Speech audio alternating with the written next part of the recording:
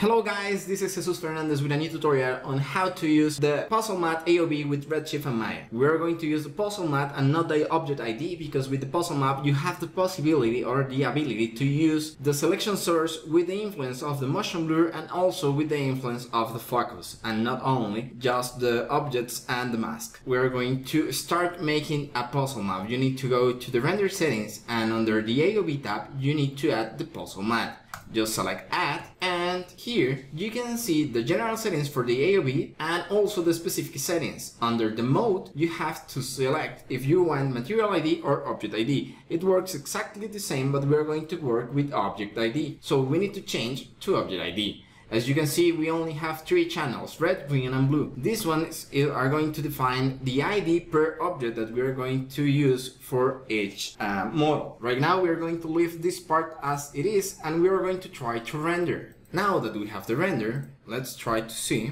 the result on the puzzle matte. As you can see, here, we don't have any informations in the channels or in the composition. For that, we will need to make a change here. Now that we have the object selected, we will need to decide the ID number per object. You can even repeat IDs. If you want the leaves and the insects to have the same ID, you just put the same number here.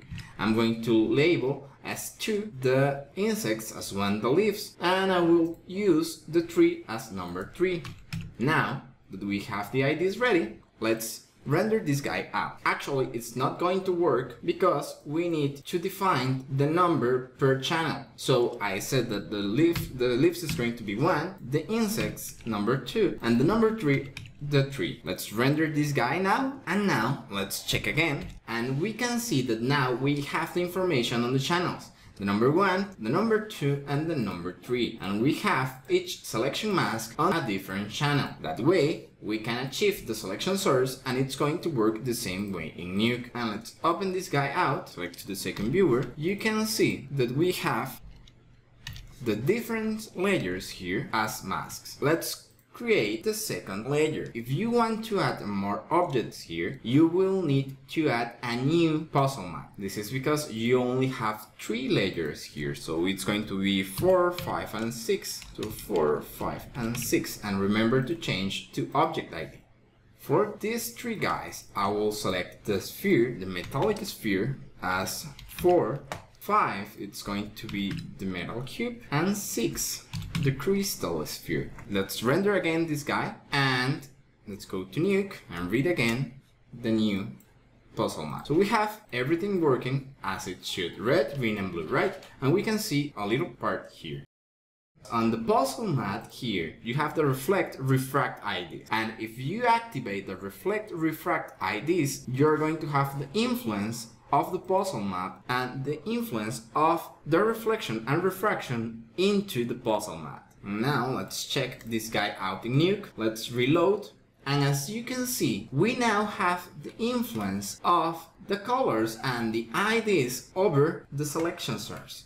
And you can even see the reflection of the green mask over the leaves and the insects of the object. So this kind of mask is going to affect all reflections, not only the object, but all the objects that has any kind of reflection for the ID. Again, you can change this guy to be material ID or object ID. Now I'm going to keep creating the puzzle mattes that I need for this guy to work.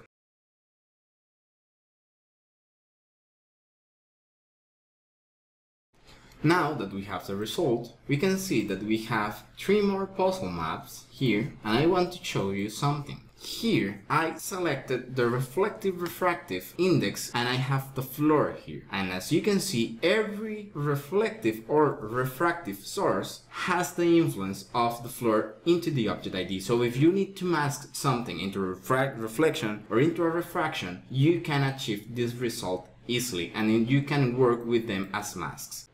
Also remember that I told you that with the puzzle matte you can enable the motion blur. Also if you have any kind of effect like bokeh uh, for the focus you can enable everything and render again. You can see that I have uh, focus and also I have motion blur. I have the animation on my little insects here. So the result here as you can see